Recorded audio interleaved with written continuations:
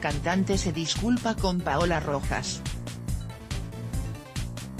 Luego que Lorena Herrera acaparara dijera que Zague estaba bastante dotado, tras la filtración del video íntimo, la cantante reflexionó su respuesta tras ver el video y ofreció una disculpa pública a Paola Rojas, esposa del comentarista deportivo, me tienen harta ustedes, los reporteros, porque yo solo le respondí a lo que me preguntaron, pero aprovecho las cámaras para ofrecer una disculpa a Paola Izague, dijo muy consternada la también presentadora. No está padre que haga este tipo de comentarios porque soy una figura pública.